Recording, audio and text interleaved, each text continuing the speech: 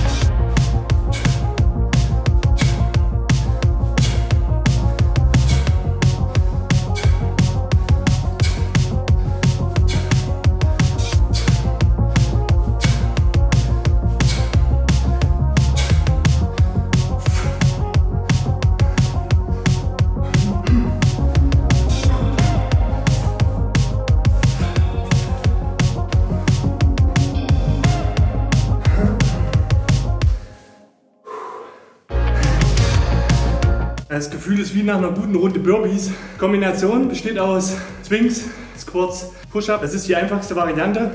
15 Swings, 5 Squats, 5 Push-Ups, 15 Swings, 4-4, 3-3, 2-2, 1-1.